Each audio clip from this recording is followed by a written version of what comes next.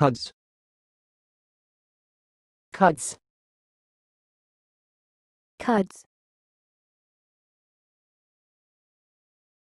Thanks for watching. Please subscribe to our videos on YouTube.